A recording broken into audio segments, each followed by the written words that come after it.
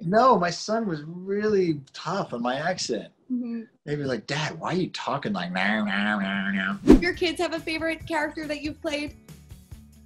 Oh God, you know, uh, they do, and I'm almost years and years ago, um, during you know, a careers ebb and flow. Sure. I'm, I'm very lucky to be in a, in a flow, but in a, a time of an ebb, um, I did a Hallmark movie, Mhm.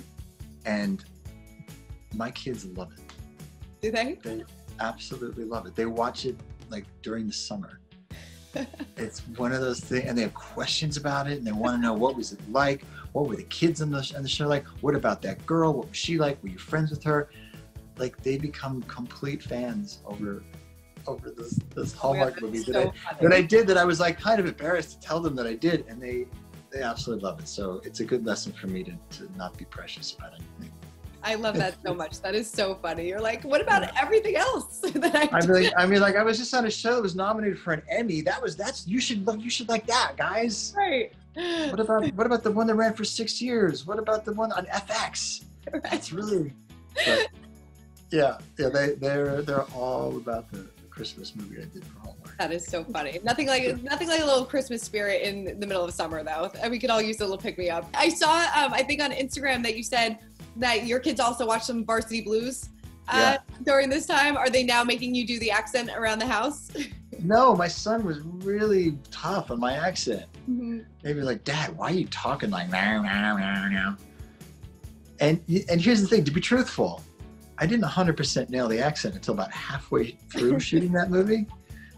I was 21 years old. I hadn't really done accents before. We didn't really have a dialect coach. We had like a guy from Texas who'd be like more drawl. It's like kind of- and so, um, you know, there are a couple moments that movie when the accent is a little uneven. And leave it to my eight-year-old to be like, Dad, I don't like that. Thanks. Tell Thanks, me bro. how you really feel. Thanks, thanks. Them kids will tell you how they feel. That is time. true. That is true. I'm sure. What's like the craziest thing that's come out of their mouths uh, during this time? I'm sure it's just like you said before, just nonstop chaos. It's yeah. I mean, God, I, I mean, I can't. I can't repeat one of the things. Uh, the, the, my little one. I was. I was. Can you can you bleep stuff out on this or no? Yeah, I-. I, I, was I was running around the kitchen. My little one looks up and goes, "Daddy, you getting it done?"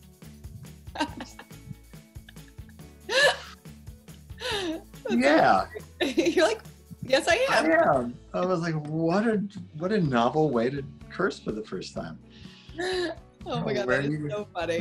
How is uh, homeschooling been going? Are your kids back at school? I mean, what's the juggling been like? Because I Yeah, they're they're not yet. I mean, this shuffling the kids from Zoom call to Zoom call was not our forte. It was, it's Yeah. not our not our best moment as parents.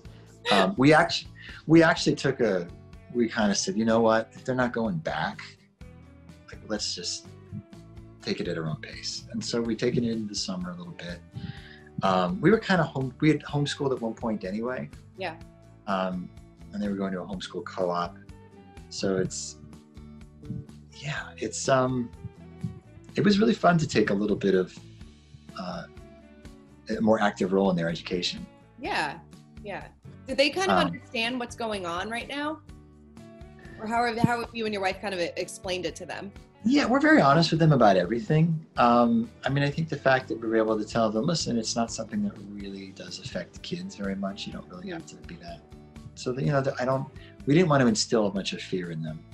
Um, I mean, my, my son every time he talks about it, he says it in this in this tone of voice. He goes, "Well, Josh, yeah, we can't go to the dinosaur place because it's closed." "Because of the corona."